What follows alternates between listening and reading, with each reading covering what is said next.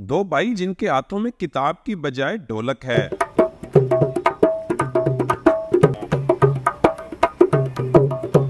नौ साल रिजवान जिसे कलम और किताब थामना थी लेकिन गुर्बत और महंगाई ने इसे ढोलक थमाक कर सड़क पर ला खड़ा किया है ਢੋਲਕੀ ਵਜਾ ਕੇ ਜਿਆਦਾ ਜਿਹੜਾ 150 ਹੋ ਜਾਂਦਾ ਉਹਦੇ ਨਾਲ ਆਦਾ ਖਰਚਾ ਕਰ ਲਈਦਾ ਤਿੰਨ ਭੈਣ ਭਰਾ ਹੈਗੇ ਆ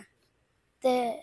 ਆ ਰੋਜ਼ੀ ਲੈ ਜਾਈਦਾ ਇੱਥੇ ਪੰਪ ਤੇ ਆ ਗਈਦਾ ਦਾਦੀ ਰੋਜ਼ੀ ਸ਼ਾਮ ਦੀ ਰੋਜ਼ੀ ਕਮਾ ਕੇ ਜਿਆਦਾ ਖਾ ਪੀ ਵੀ ਲਈ पाक पतन के दो ऐसे भाई हैं जो कि आम बच्चों की तरह खेलते नहीं और ना ही पढ़ते हैं बल्कि इनकी पहचान इनके कंधे पर पड़ी ढोलक है ਸਾਡਾ ਜੀ ਪਿਓ ਢੋਲ ਵਜਾਉਂਦਾ ਸੀ ਹੁਣ ਉਹ ਢੋਲ ਵਜਾ ਨਹੀਂ ਸਕਦਾ ਹੁਣ ਅਸੀਂ ਮੁੜ ਕਮਾ ਅਸੀਂ ਮੀਆਂ ਸਾਈ ਜਿਹੜੀ ਢੋਲਕੀ ਵਜਾਣੇ ਆ ਲੋਕ ਸੁਣਦੇ ਨੇ ਕੋਈ ਦੇ ਦਿੰਦੇ ਨੇ ਤੇ ਸਾਡਾ ਗੁਜ਼ਾਰਾ ਹੋ ਜਾਂਦਾ ਹੈ चंद रुपयों की खातिर सड़कों पर रात के ढोलक बजाते ये बच्चे हुकूमती तवज्जो के मुंतजिर हैं। माशी इमदाद के ज़रिए न सिर्फ़ इनकी मुश्किल में कमी लाई जा सकती है, बल्कि इनके हुनर को भी निखारा जा सकता है। तैमूर खान, आज न्यूज़ पाकपतन